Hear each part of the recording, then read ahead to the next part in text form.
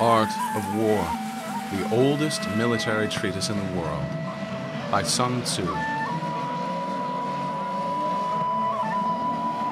Ground which can be freely traversed by both sides is called accessible. With regard to ground of this nature, always occupy the raised and sunny spots before the enemy, and carefully guard your line of supplies. Then you will fight with the advantage ground that can be easily abandoned but is hard to reoccupy is called entangling. From a position of this sort, if the enemy is unprepared, you may sally forth and defeat him.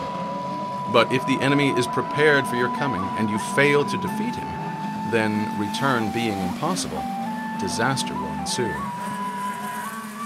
With regard to narrow passes, if you can occupy them first, let them be strongly garrisoned and await the advent of the enemy. Should the army forestall you in occupying a pass, do not go after him if the pass is fully garrisoned, unless it is weakly garrisoned. With regard to precipitous heights, if you are beforehand with your adversary, you should occupy the raised and sunny spots, and there wait for him to come up.